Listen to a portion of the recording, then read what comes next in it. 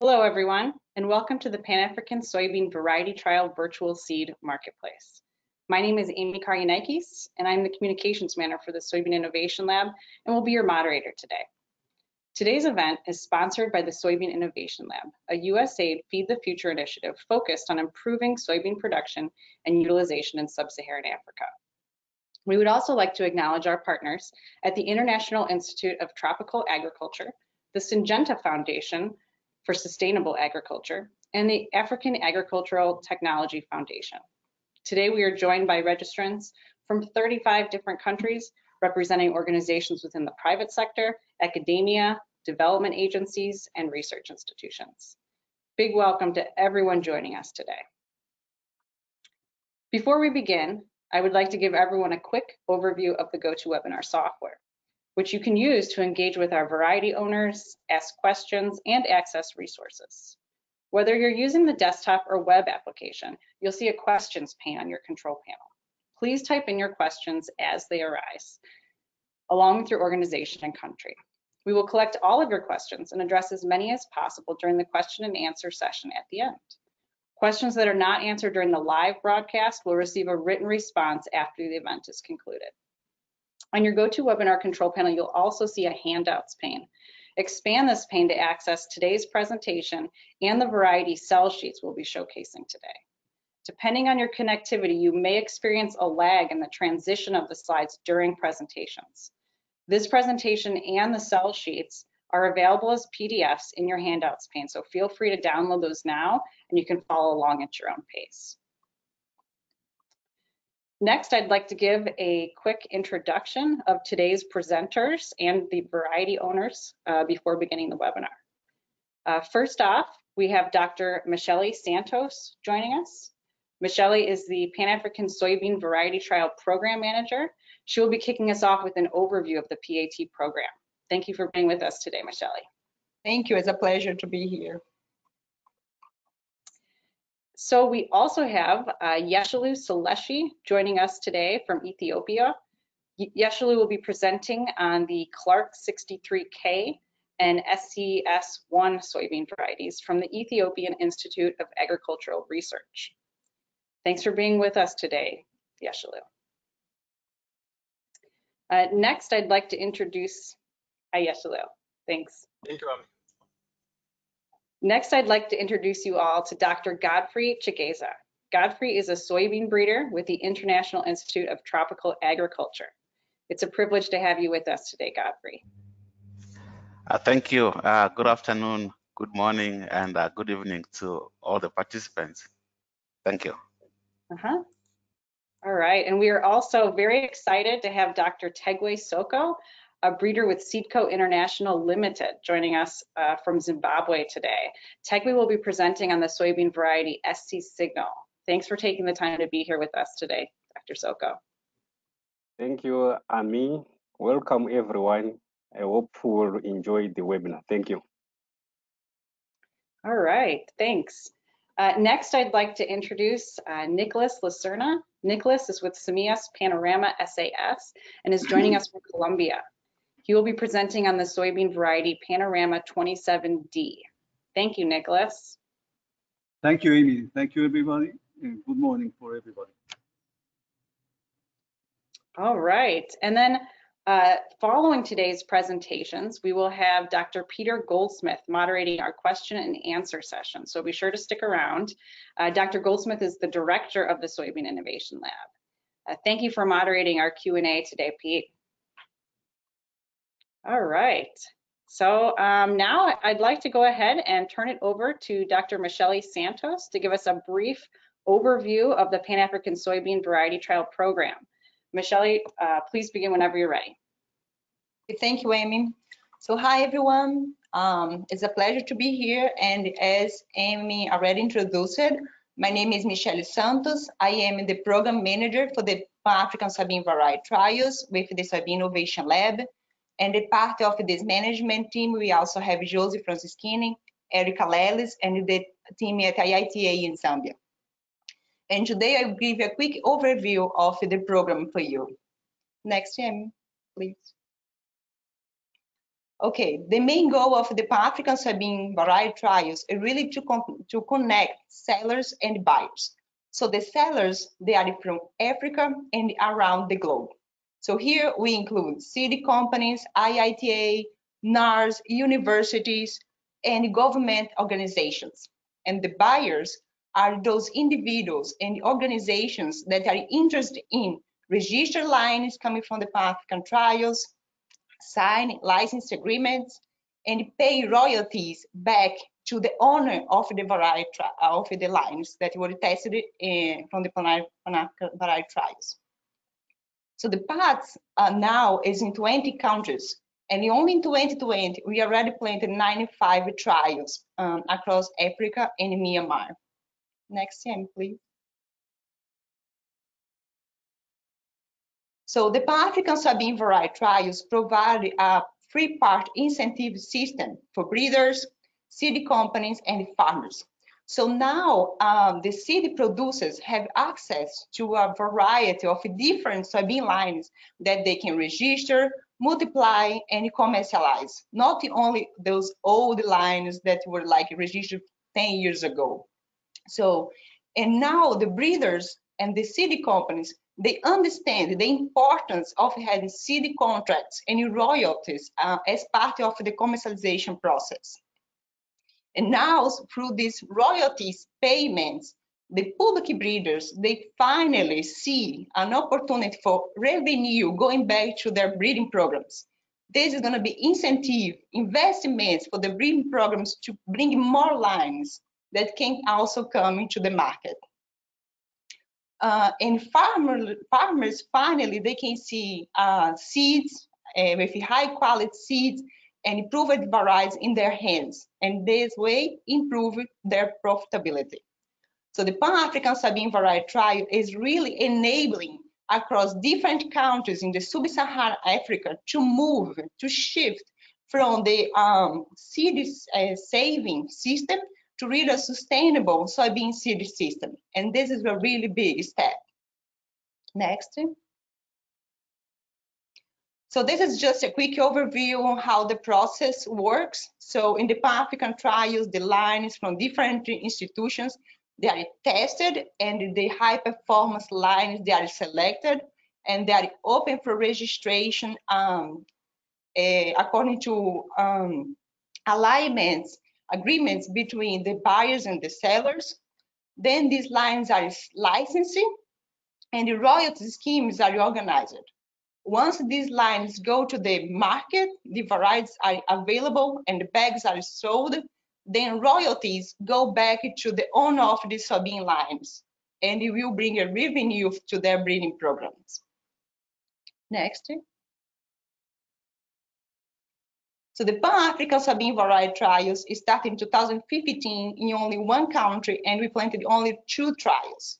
Now, five years later, only in 2020, we have 20 countries operating the Pan-African variety trials.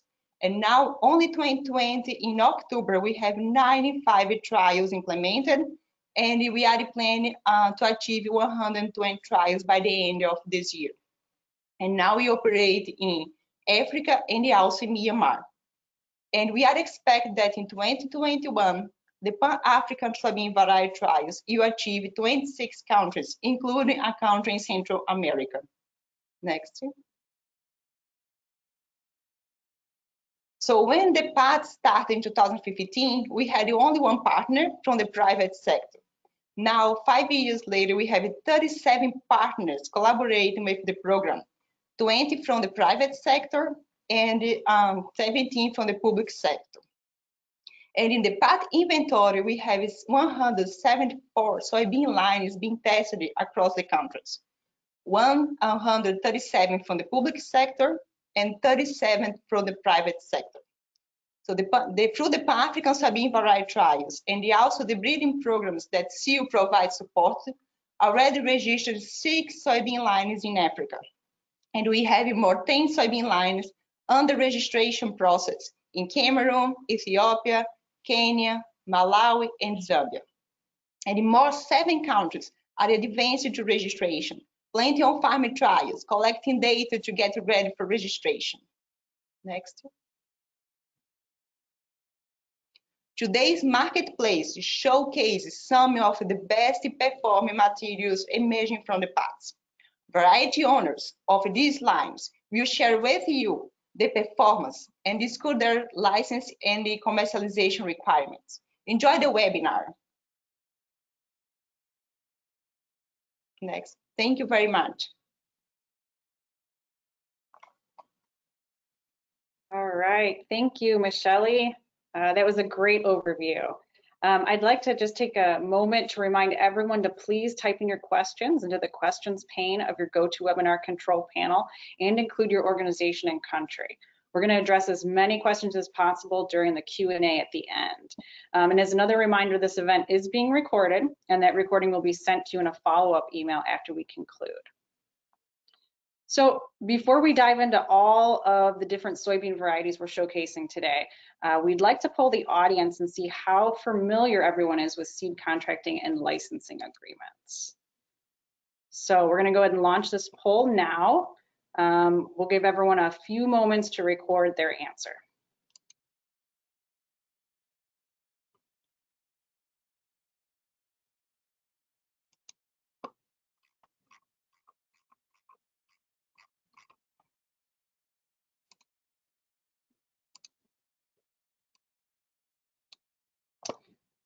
Okay, and we'll be closing the polls in three, two, one.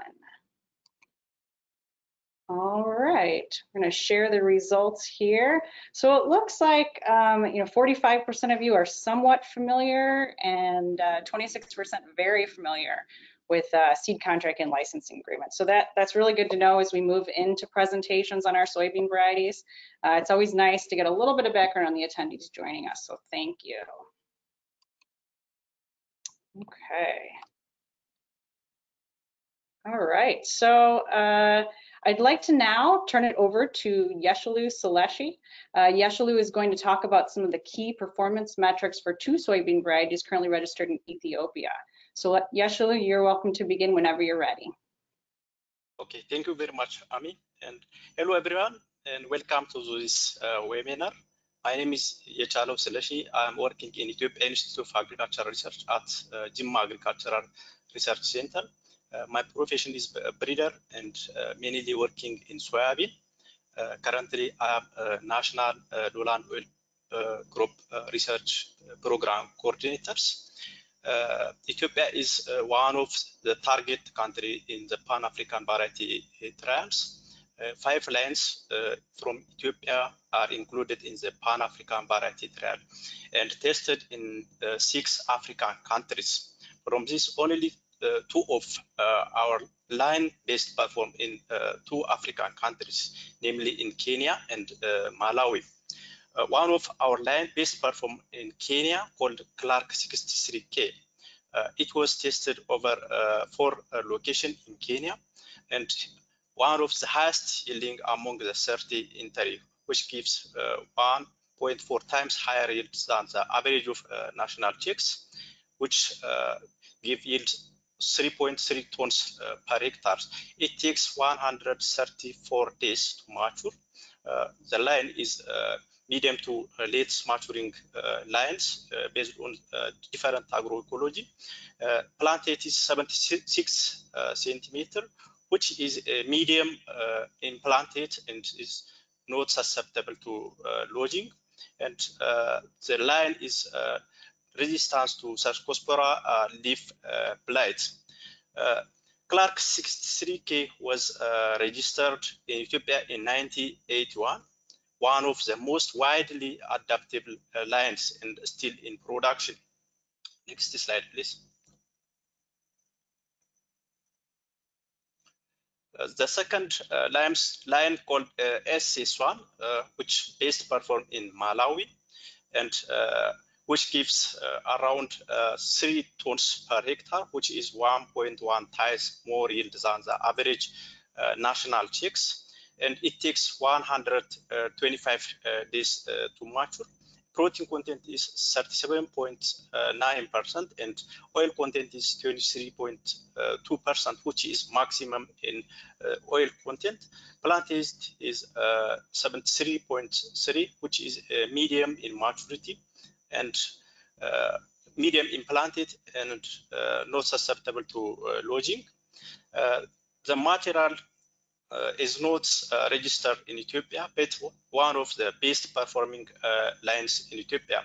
And uh, SCS1 is one of the biggest in seed size and attractive uh, seed color, which is important for market preference.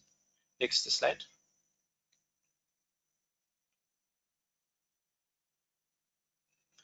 About licensing and uh, agreements, uh, in Ethiopia, plant breeder rights already approved and from Kenya or from Malawi, any organization or institution if went to register those soybean lines for production has uh, licensing agreements and uh, royalty uh, agreements.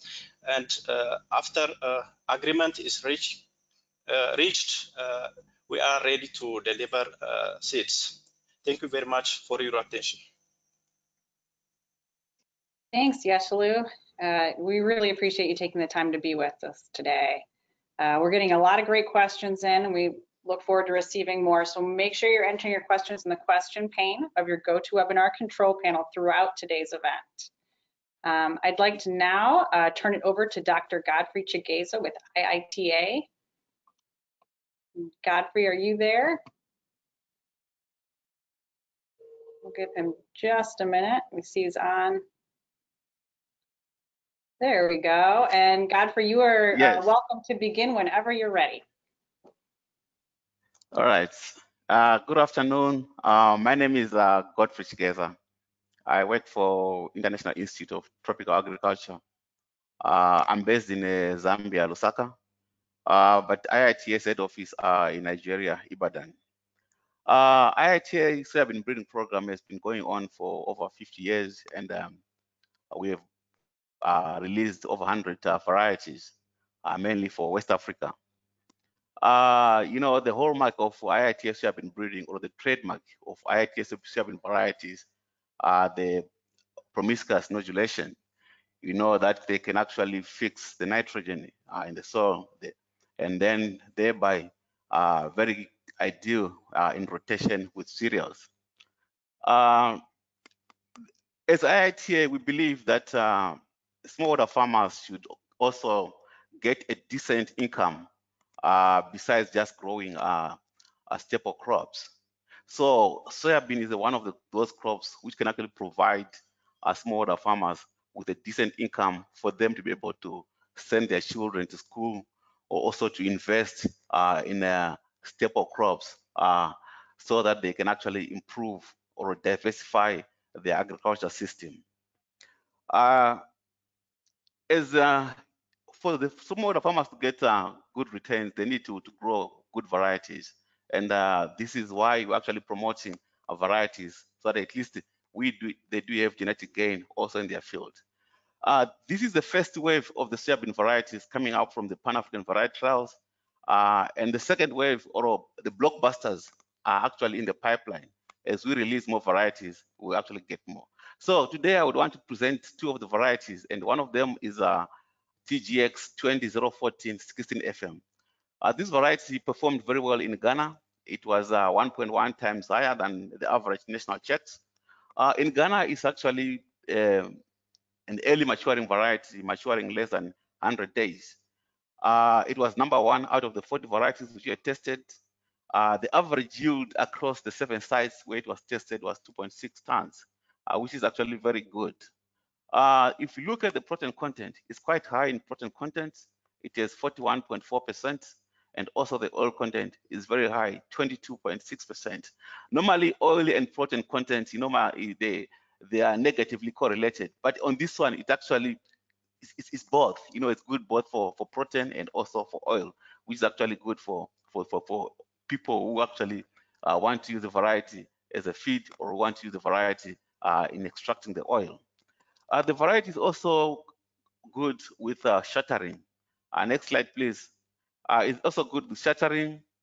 Uh, it's also resistant, moderately resistant to a number of uh, biotic uh, stresses. Uh, the variety is also being uh, targeted for Zambia. So this variety is actually adapted to a wide range of um, uh, climatic conditions. Uh, in Zambia, it's also performing very well. In Zambia, we are working with a, a private seed company who, who is interested in the variety, and they have started the process of registering it. So the average yield of this variety in Zambia is 2.7 tons. Uh, and then the protein content, you know, you can look at the stability of this. You know, in, in, in Ghana, it was around 41%. Uh, uh, in, in Zambia, again, it's 41%. So it's actually very stable. If you look at the results for the past two seasons, 2019, uh, 18 and uh, 19 and 2019 and 20, you see it was uh, out, outperforming the checks we're using, the commercial checks we're using currently. So it's one of those varieties which is actually very good. But if you move it from West Africa to Southern Africa, it becomes, it falls now under the medium maturity. So it's no longer an early variety. I mean, in, I mean, like what it performed in Ghana, but in Southern Africa, it's actually medium maturity. So it's in the medium maturity uh, category, uh, maturing in less than 110 days, which is actually very good also for both the smallholder farmers and those who want to do commercial soybean, uh, uh, I mean, production. The good part about this variety is actually you can actually mechanically harvest it. It doesn't lodge. Uh, so lodging, it doesn't really lodge, and also it's quite uh, uh, resistant to shattering and also to leaf diseases like rust, uh, so that you know the farmers would not incur additional cost in spraying. Next slide, please. So the farmers don't in, in, in, incur additional uh, in, spraying. The next variety is uh, the TGX 1991 22F. Uh, this variety is targeted for Malawi. Uh, this variety is uh, very stable, very good for the smallholder farming uh, agriculture system or community system. It's very robust. It's early maturing. the average yield for this variety is 2.5 tons. We have tested this. This average yield is over the past three seasons. So it has been outperforming the current checks for for, for, for the past uh, three seasons in Malawi. Uh, it's doing very well. Uh, there's also one thing which I would want to mention is that most of the varieties we're actually having, uh, the soybean varieties, are quite old. So these varieties we're releasing are quite new. They will actually help the farmers to, to, to make a profit if they actually uh, commercialized. Next slide, please.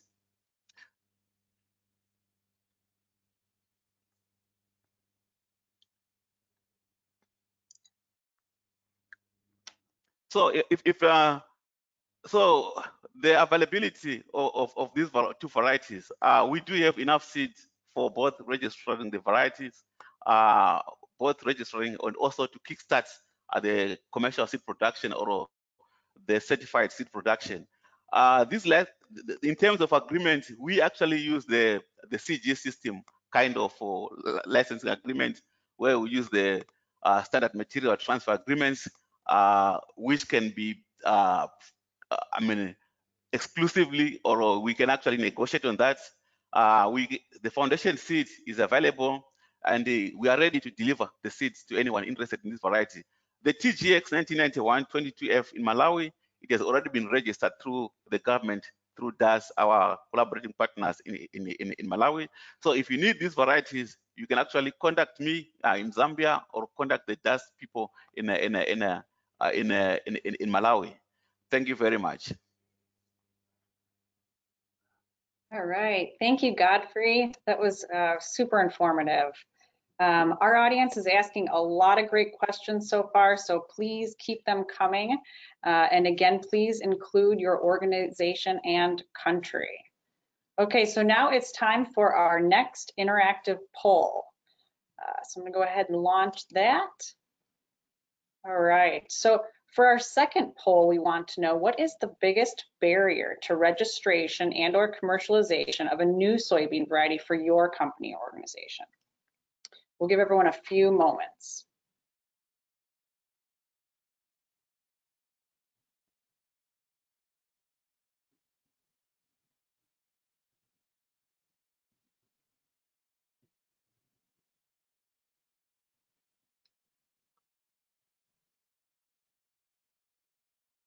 Okay, and we'll be closing the poll in three, two, all right, and I'll go ahead and share those results with you. Um, all right, so we have um, logistics and, and the time demands associated with registration kind of up in front here, but um, also access to suitable new uh, high yielding soy soybean lines. Okay, so great. Um, that is is great feedback. Um, it's important for our staff and our team of researchers to get this feedback um, from all of you. So we appreciate you participating in the polls. Thanks. All right. So we'll have one more poll before we get into the Q&A session of the event uh, with our moderator, Dr. Peter Goldsmith. But right now, I'd like to turn it over to our fourth panelist, Dr. Tegwe Soko. Uh, Tegwe is with uh, Seedco International Limited in Zimbabwe and is going to tell us about the SC Signal variety. Uh, Tegwe, please feel free to begin whenever you're ready. Thank you, Amy. Welcome, participants. My name is Tegwe Soko. I'm currently the acting Oil Seeds program lead for Seedco Group, of which Oil Seeds, we have a number of crops under that breeding program. We have soybean, we have canola, we have groundnuts that we are also researching. And Seedco is a company that started in 1940, so we are celebrating 80 years in existence. And currently we are operating in more than 15 African countries. And Seedco as a company, it has all the departments that are stretching from R&D in terms of crop improvement, variety improvement, in this case for soybean. And also we have business units that cut across Africa. So in terms of seed production, marketing and sales, it's all done by Seedco in various countries. And then with this partnership with the SIL, it was it came at the right time for us because obviously it would also give us an opportunity to test in other countries where we don't have Seedco business units. Currently, we are testing in partnership with SIL in Cameroon. We are also testing in countries like Malawi in partnership with SIL. And through this partnership, we identified one product, which is SC Signal, that I will talk about today. SC Signal is an indeterminate soybean variety with a brown hilum color, and it is one of the products of the Seedco soybean breeding programs where we target high yielding varieties. So in terms of yield, it had a yield advantage of three tons across several countries. And it's one of the varieties which is very stable, always in the top five in terms of performance. So what I'll do, I'll give the performance of Signal across three countries where SIL performed some trials. And the first country is Zimbabwe, where Signal yielded three tons per hectare. And then the other characteristic which is key for soybean is the lodging. It has to have good standability. And for the Zimbabwe results, it had a, a good standability of 1.8 on a score of one to five, where five is severely lodged, and then one was quite good with good standability. So Signal was standing at 1.8. And as you can see in the slide, it was the best variety as compared to Spike and the Saga. But in terms of performance, it was comparable to Spike, which is the current commercial product that is being sold in Zimbabwe. In terms of maturity, SC Signal is medium to late maturing taking about 117 days in these particular trials. And then also in terms of end use quality, which is also key for oil expression, it had an oil content of 20.7%. And then for feed, especially livestock feed, it had a protein content of 39.1%. Next slide, Amy. The next country that we'll talk about is Ethiopia, of which in terms of our strategy, we are we are having hubs in Southern Africa, East Africa, and also West Africa. So in Ethiopia, under East Africa, the same product, SC Signal, was about 1.4 times better than the national checks there, of which in terms of yield, it exceeded the three ton mark. It was 3.1 tons per hectare. And then in terms of maturity, I have highlighted two sites there because at one site it was early to mature, taking about 106 days at Pawe. And then at Jimma it took 163 days, still confirming that it's a medium to late maturing variety. And then the other trait that is key in the Seedco soybean varieties is the resistance to soybean rust. It's a trait that we have managed to introgress resistant genes into our germplasm. So in terms of uh, the rust scores, it had a low rust score, even in Ethiopia, of which it's a good trait because farmers will not use fungicides in terms of uh, controlling that particular disease because the genes are already there in the variety SC signal. Next slide, Emmy. Then the next country is Malawi. Still, it gave us a yield of 2.9 tons, which is about three. It's a high yielder, both Zimbabwe, Ethiopia, and now in Malawi, giving us 2.9 tons. And then in terms of end use qualities, it had a protein content of 37.7% and then an oil content of 20.9%, which in terms of yield, it was 11.5% better than the local check in Malawi, which is Tikolore. And standability was still quite good eh, with a 1.1 score on a scale of 1 to 5. And then in terms of rust score, it's 1.3, which is also quite good. And it was the best in terms of rust scores there in Malawi. Next slide, Emmy. Then in terms of availability, in terms of seed availability, like I indicated, Seedco is a private seed company that is also into seed business.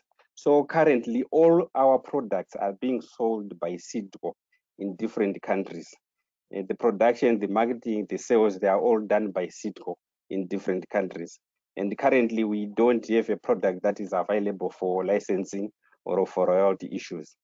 But if anyone is interested, they can always contact the Seedco pe persons in their countries and you can also contact me so that I can link you for the availability of this particular product, SC Signal, which is high yielding, good standability, good end use quality, and also resistant to both soybean rust and bacterial blight.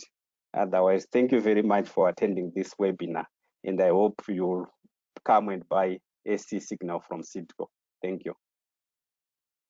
Great, thank you, Tagwe. Wow, so SC Signal is averaging a yield of three tons per hectare across those three countries. That's that's really impressive, really impressive.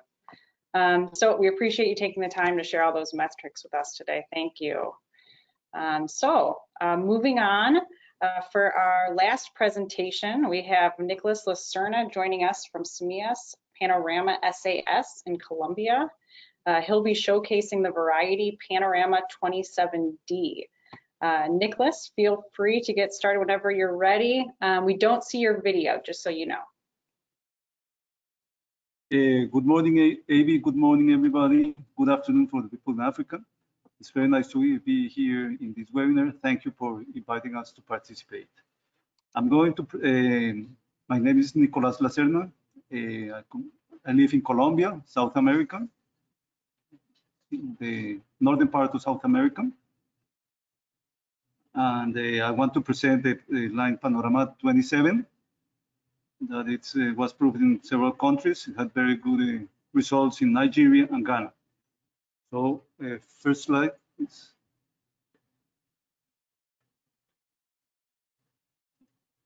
So uh, Panorama 27 in Ghana produced two and a half tons per hectare 1.1 times more yield than the average, the national check.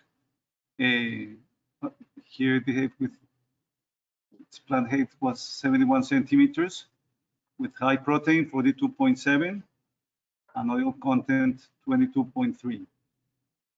Um, uh, next, please. And, and Nicholas, we don't, we don't see your webcam. I just wanted to see if you could turn on your camera for the audience. I'm sorry. I said I seen the other camera, so I thought it was shut. There we Now you go. can see? Great. Okay. Now, uh, Panorama 27 Nigeria had a very good uh, result. Across sites, it was 3.9 tons. In, in Ibadan, it produced 4.7 tons. It's very high yield for us here in Colombia. Uh, the, the plant was a little lower than, than the one in Ghana, 55 centimeters. Uh, the weight was normal weight for this plant. The lodging was very low. This, this line presents a tolerant resistance to bacterial pustule and mosaic virus. And um,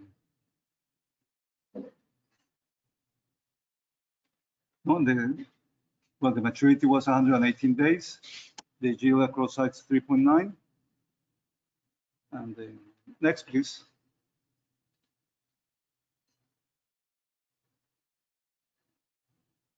We work in, in Semillas Panorama, we work uh, uh, looking for high yields, for uh, stress resistance, for disease resistance, for our uh, environment here in Colombia. We have been trying these varieties in, in Africa and well, we are very, very except my main English is not English, so I'm not very good, I'm sorry. We're very proud of the results and we hope we can do business with the African people and, and keep on continuing with the supporting the PAT program. So we're open to for licenses agreement. We're open for ro royalties agreement.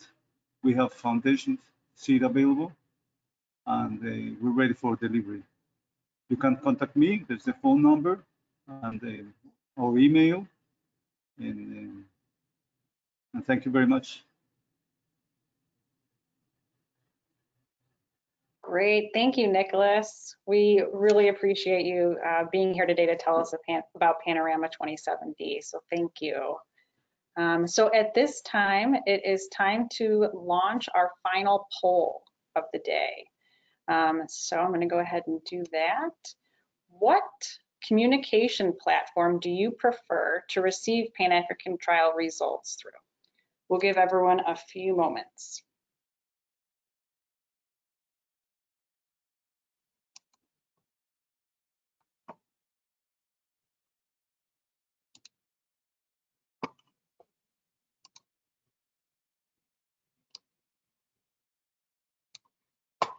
Okay, and we will be closing the polls in three, two, one.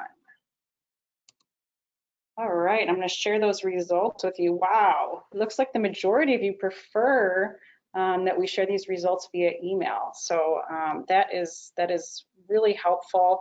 Um, we realize that everyone's uh, preference is different, and uh, we want to share these important results in the most effective way possible. So thank you. So go ahead and hide that. Um, all right, so uh, now we're going to dive into all the great questions that you've all submitted. Um, I hope you stick around. Dr. Peter Goldsmith will be the moderator for our Q&A session today.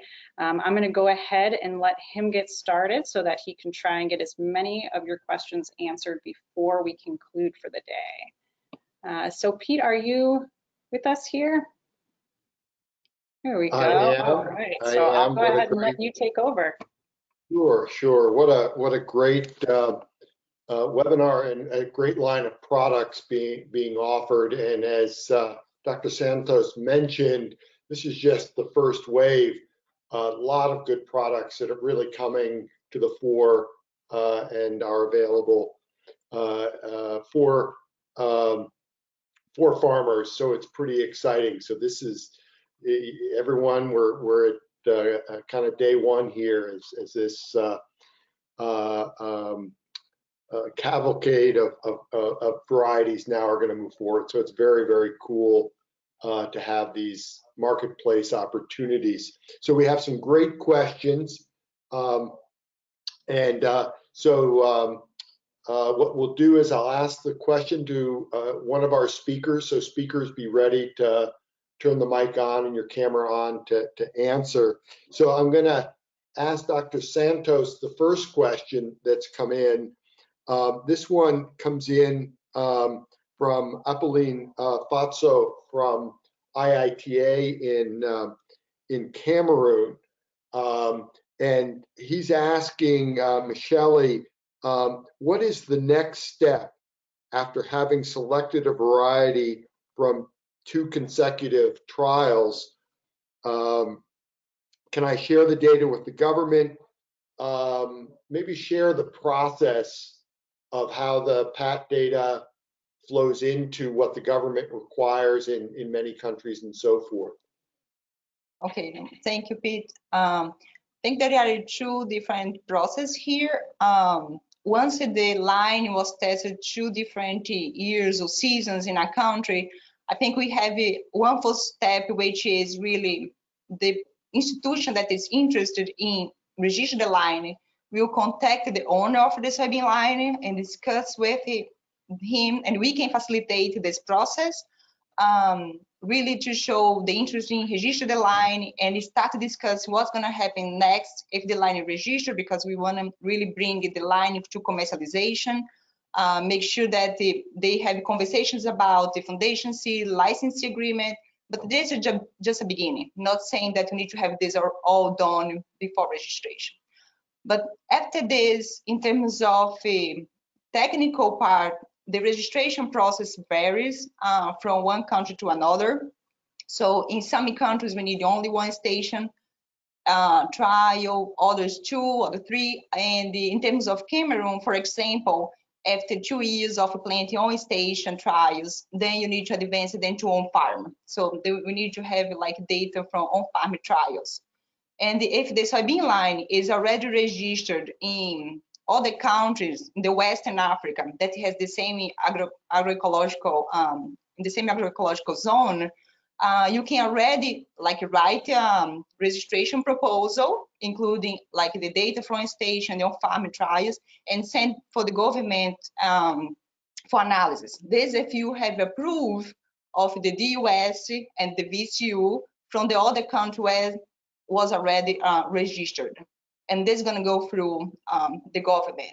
But if the line was not registered in other country that has the same agroecological um, zone as Cameroon, for example, then you need to send the, the seeds to the government and then you do the DUS and the VCU. So this is the same, like the government has also one step, um, for example, in Kenya, in Malawi is all with the, the partners with registration, so it's really varies from country to country.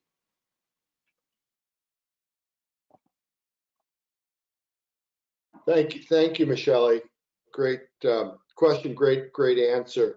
Um, the um, second uh, question comes from Awet Estefanos uh, at um, uh, EIAR in uh, Tigray, uh, Ethiopia. This is for Yeshalu.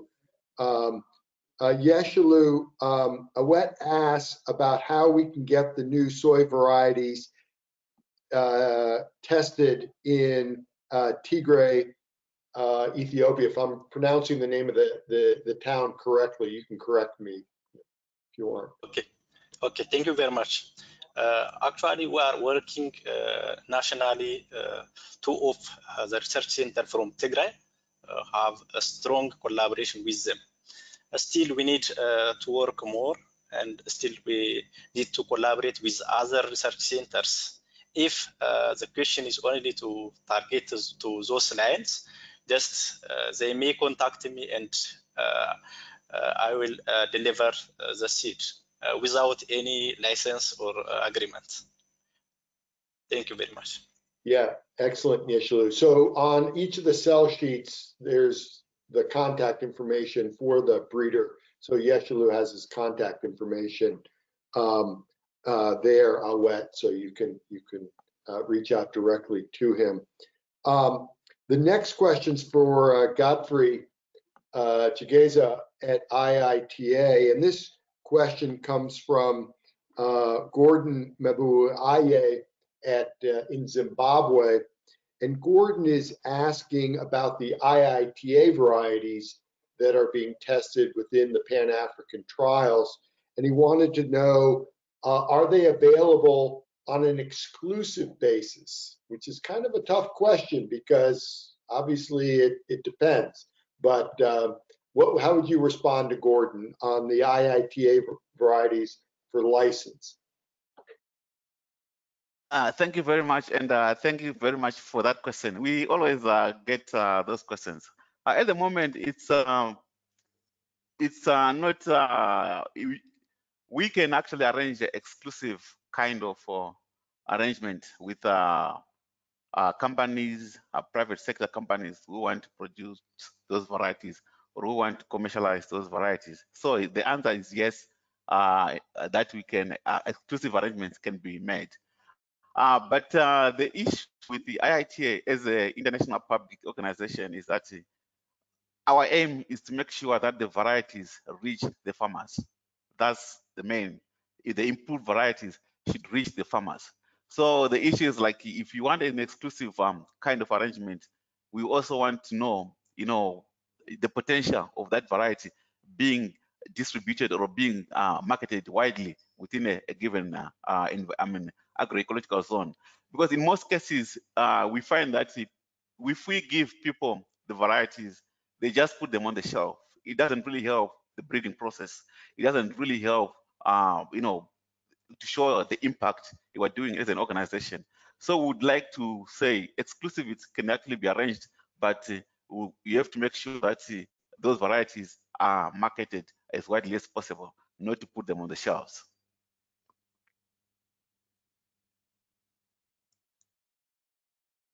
Thank you, Godfrey. Yeah, re really, really helpful. And um, there, there are a number of, just a couple of points on, on the questions coming in, lots of great questions.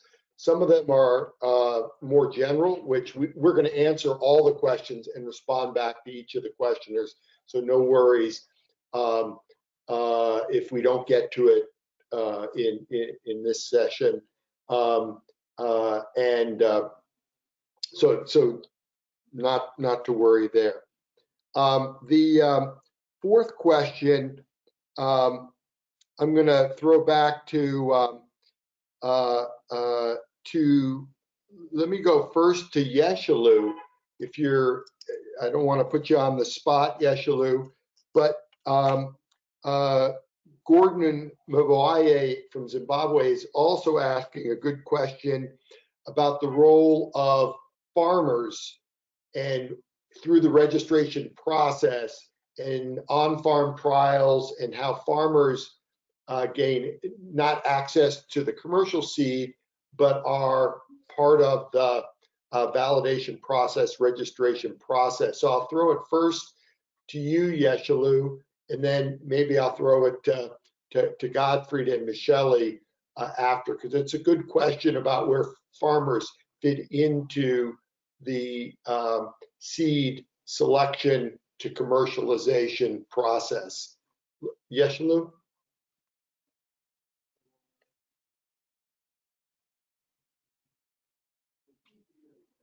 No. Good. Okay. Uh, I think uh, I understand the question is uh, farmer selection uh, based at Ethiopia. Yeah. So, so is our farmers, um, when you register a variety in Ethiopia, for example, say you take one of the Seedco varieties and decide to go forward with registration because it performs well and, and you want to license it and sell it in, in Ethiopia. Um, do the farmers participate either in field days? Do they have, are there uh, farmer trials if the government asks the licensee to uh, perform? Uh, do farmers fit into the system in the registration process in um, in Ethiopia? Okay. Uh, actually, uh, we conducted uh, at two locations, at and Pawe, this trial. farmers was participated in the variety selection and have uh, they put their uh, selection criteria. Uh, recently, only the governments has trying to register uh, so such uh, best performing lines. Otherwise, uh, uh, some only few uh, private companies are trying to register some of these best performing lines. excellent. And, and so this is a, a, a deeper question than maybe it appears. Um, and I'll, I'll, throw the question in a second to Godfrey. Thank you, Yeshalu. This is a deeper question that Gordon is asking. Uh, for the public sector, they want to involve uh, farmers and, and governments want the the the uh, research stations to involve farmers to, to to look and decide what varieties they like and so forth. On the private sector side, those uh, companies are trying to sell seed, so they're directly engaging farmers in the process because if they choose the wrong variety, obviously they're not going to have seed sales. So farmer acceptance is really, really important, uh, both from the public side as well as the private sector side. So Godfrey, from um, Zambia's point of view or IITA, in your experience, um, where do you see the farmers? Um, how do countries bring farmers into the process? Yeah, it's it's, it's a very good question, and um, we do involve farmers um, in a in a number of ways. Uh, for us, is uh, one is to validate uh, whether our selection has also been uh, uh, actually meets what the farmers need. Uh, what we call the product profiles we have created. We create these product profiles with the farmers to say the farmers they want early maturing varieties, the farmers they want uh, varieties which do not shatter the one varieties which are large seeded. So the process of on-farm trials is actually to validate uh, what we have actually sort of agreed uh, on the product profiles with uh, the farmers. And also for the seed companies, it's actually a, a marketing tool. They can actually use that as a marketing tool. That when the farmers select the variety, uh, they already know that variety is good. They already know that these varieties actually are good for specific traits. And also the other issues like um, you find that uh, it's easier, for example, for us, uh, the case in Malawi, uh, the farmers normally is like, uh, they're actually the ones who normally names the varieties, like Tikolore, which means uh, let's, uh, let's farm, it, let's cultivate. It was actually, that name was given by the farmers.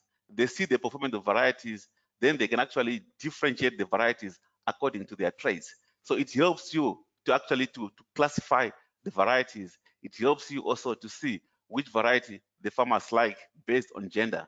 So it actually feeds back into the breeding program as a mechanism. What the farmers tell you about the, those varieties feeds back into the breeding program, feeds back into us designing the product profiles before we start uh, developing the hybrids. So this is part of uh, the uh, value for cultivation and use, which is actually very good. That's why we do the on-farm trials that's why we actually use the farmers to validate that. So I would say it's like in some in some countries they actually uh, emphasize on on-farm trials that the farmers actually uh, the data from the on-farm trials is used also in registering the varieties. In some countries we only use on-station uh, data, but the on-farm trials also helps us to measure the genetic gain, what we have done on the station compared to the performance on the farm. So it actually also gives us a good indication at the, the genetic gain on the farm also at the farm level.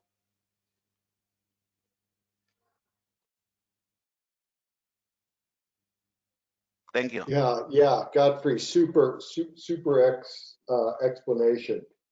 Um,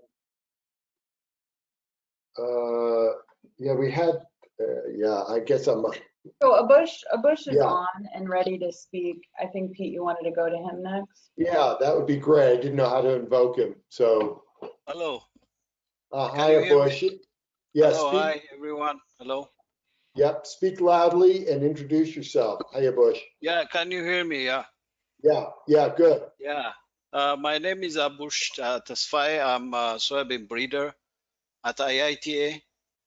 Uh, I just want to comment on the variety registration process in Ethiopia uh, and also farmers' involvement in the process. You know, before any variety get registered, the variety has to be has to pass uh, a testing of in more than at least uh, six locations in, in one year. If it is a commercial varieties in some other country, it has to pass at least uh, it, uh, has to be tested in six locations, and then the uh, again it has to be also tested on farmers fields uh, for farmers evaluation. So this we call it farmers variety verification. So uh, otherwise it cannot be registered unless it is uh, evaluated by or tested across uh, locations. So this is the the process. And uh, I, I didn't really understand now the process of uh, marketing the, the varieties.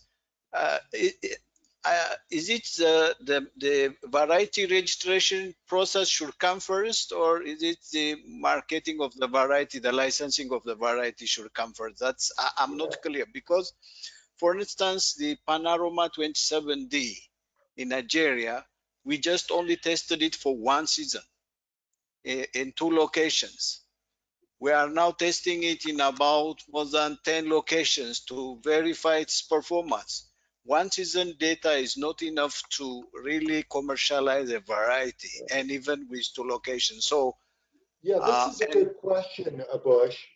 This is a good question, and there's some other questions that came in uh, earlier, just general questions about this new space of licensing, registration, licensing, and royalties. Dick Tinsley had a number of questions as well, these general questions. So let me kind of, uh, let me answer those best I can, and then we can follow up uh, as well uh, afterwards.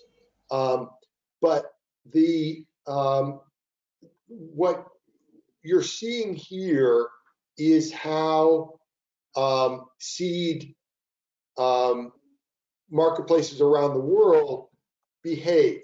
This is between a breeder and a licensee. And there has to be some, there is an agreement that the variety is worthwhile on the part of the licensee saying, you know, I, I, want to invest in this, this variety. Uh, and registration then becomes important. So when um, uh, DARS in Malawi is registering uh, a variety, which they are 22F, they feel and their farmers feel, the industry feels this variety is really a, a, a good new variety for the country. So they will, based on using the data from the Pan African trials. So you've seen the variety, you've seen it perform well, and the licensee, so not the licensor, so it's not the, the breeder saying it necessarily, but someone who's going to license it uh, and, and, and wants to market it will uh, engage, it has to be registered in the country. Um, and that's how in among the African countries where we're working, registration is a necessary condition. In other countries like the US, registration is it doesn't take place. It's just marketing a variety. But where we're working in sub-Saharan Africa across the 20 plus countries, registration is necessary. The data from the PATs provide those data, uh, and the registration goes through, uh, and then um, license licensees then license that variety, um, and then it goes through to uh, the discussion between the breeder, the owner of the material, and the licensee about the royalty payment. So um, someone who wants to produce 22F in Malawi uh, will um, negotiate with IITA, and it's their call. That they decide how big, small the terms, and, and royalty agreements aren't just one line. They're, they're contracts, so they're, they're stipulations. So that's how that process works. So let's shift to, let's see, we have one minute left. I did want to get a question from uh, uh, the last question from uh, uh, Hillary Otenyo of the One Acre Fund, who had a question for uh, for Tegwe at Seedco. She operates in Kenya, Rwanda, Malawi, Ethiopia, Zambia, Burundi, Tanzania, Nigeria, and Uganda, and she's interested in uh, varieties, let's say Seedco varieties, that might perform well and would like to know how to she get in contact with you, get samples, and how the process might work. Thank you, Peter, for for the question. It's like as a private company, we also need our IP to be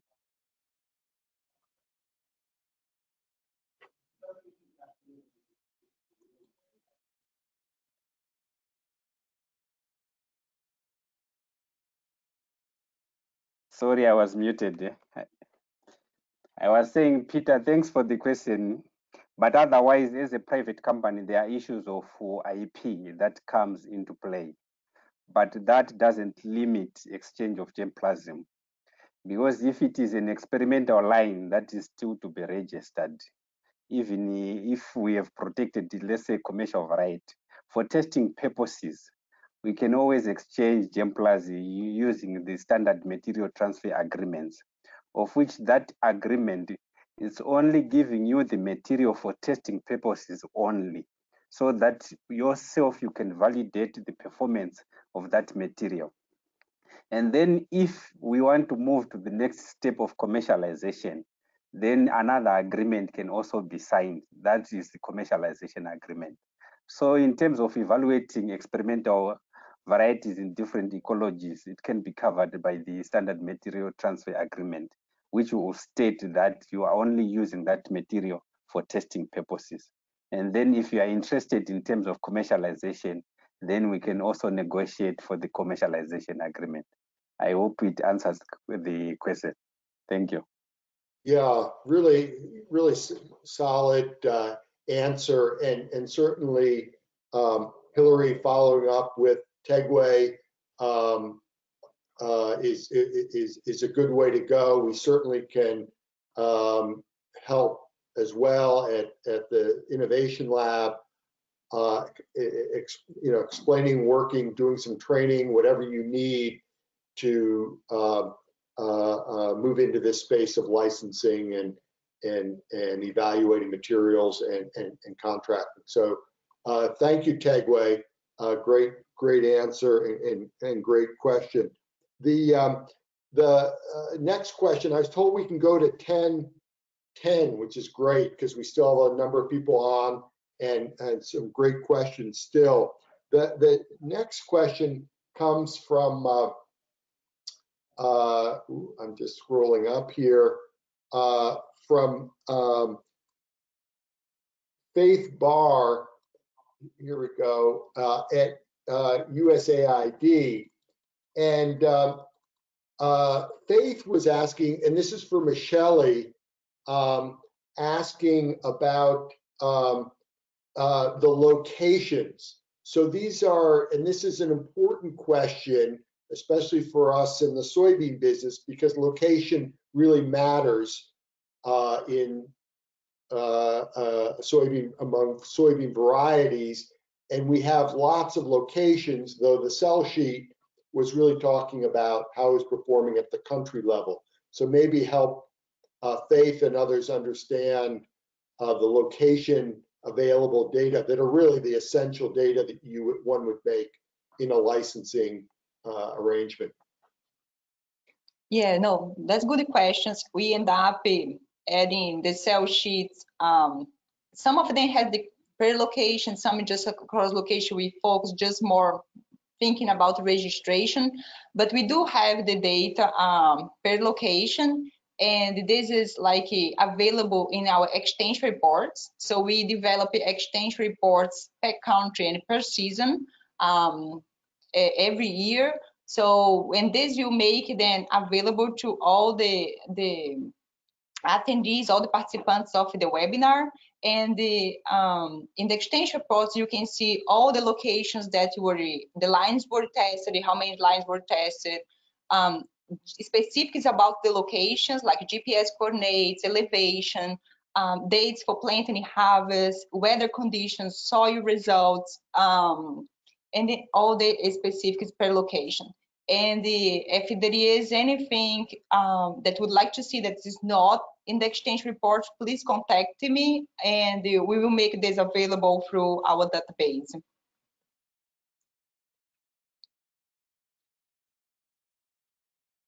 Thanks, Michele. Um, another question came up, and this is for for Tegwe.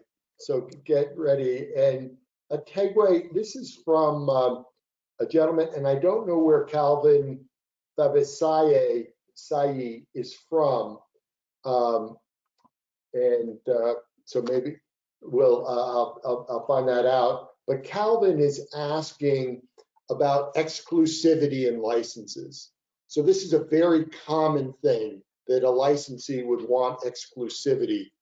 Um, uh, and and talk to talk about this question of and explain to Calvin why exclusivity is important um, uh, and when and where maybe it wouldn't be necessary, but why it's just a, a uh, an important feature of a, a licensing agreement. Thank you for for that, Peter. Calvin Fambisa is one of our directors. Yeah, I just saw that. just came in. so, sorry about that. I don't know if I just put you on the spot with one of your colleagues. Okay. I wouldn't have done that had I known. But no, it's okay. It's okay. Remember, a crop improvement is a long-term investment. It might take 10 to 12 years developing one variety which means you, you are investing, but you are not uh, maybe recuperating the expenses that you are investing in. And then if a product is now commercialized, obviously there are also some expenses in terms of marketing, packaging, everything else that seed companies also put into it. That's why people, when they are licensing now, they want to have exclusive rights because at least they can invest in terms of marketing. Then they know they are the only ones who will be selling that particular product for a certain period of time.